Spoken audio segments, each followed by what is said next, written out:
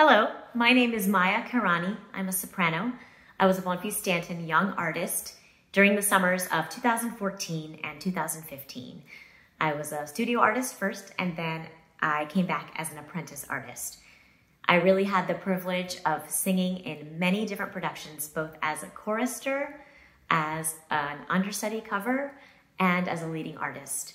My time at Central City was hugely formative to me in my early career and the connections that I made during those summers still serve me to this day in the industry. I am good friends with many of my fellow young artist colleagues, and I really enjoyed working with such top notch conductors, directors, and expert artisans um, in the costume and makeup departments at Central City Opera.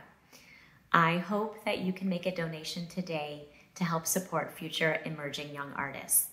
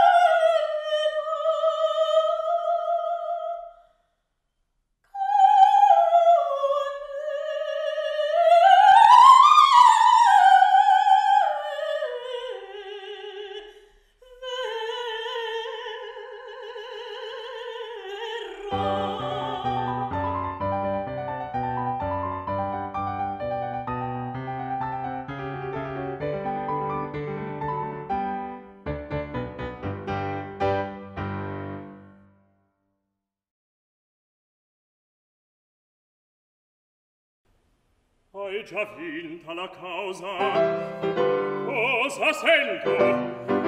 In qual laccio io cadea, di io voglio io voglio di tal modo punirmi. A piacer mio la sentenza sarà.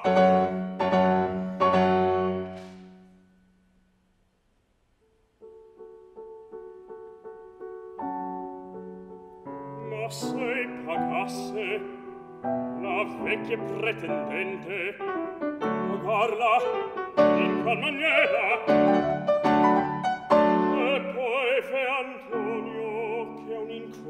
marito Figaro ricusa di dare una nipote in matrimonio.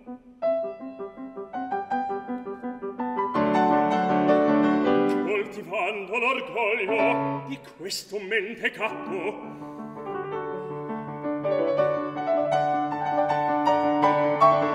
Tutto giovan ragino,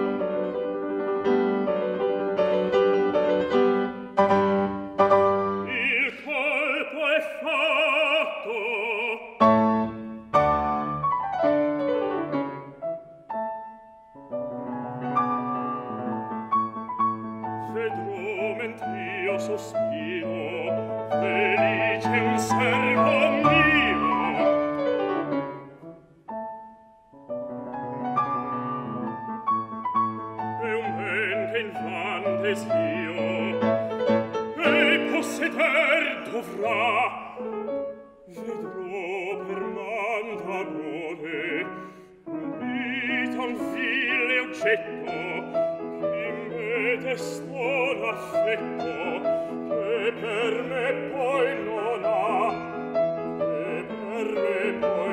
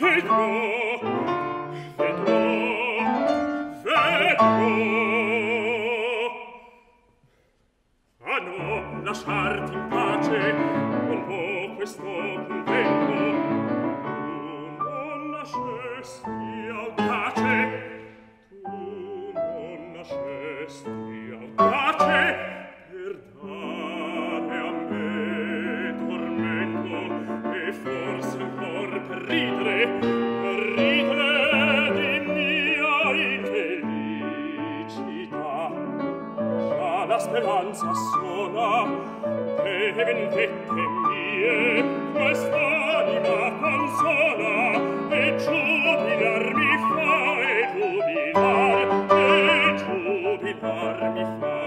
Ah, che lasciarti in pace Non vo questo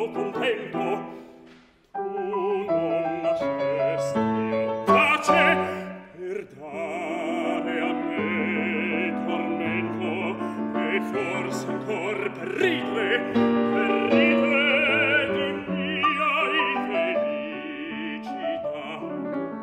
Ma la speranza sola delle vendette mie questa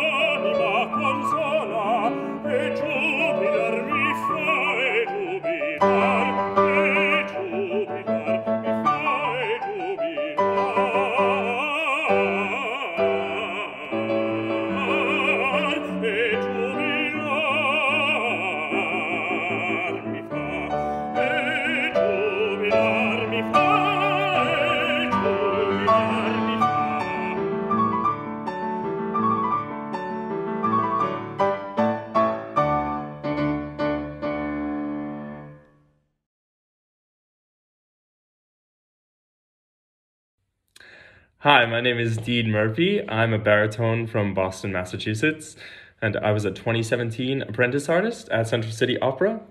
And it came at a very important time for me because it was the summer before I came over to Europe to start a position at the Deutsche Oper Berlin. And it was fantastic to get on stage so many times that summer. And uh, I jumped in for a colleague for um, a role in Cabildo. And uh, yeah, it was uh, a wonderful community at Central City. And I have such fond memories of being there. And, you know, after the year we've had, it's um, incredibly important to be supporting organizations like Central City Opera. Um, you know, they are training young artists, getting out into schools in Colorado, and putting on fantastic productions every summer. So please support Central City Opera.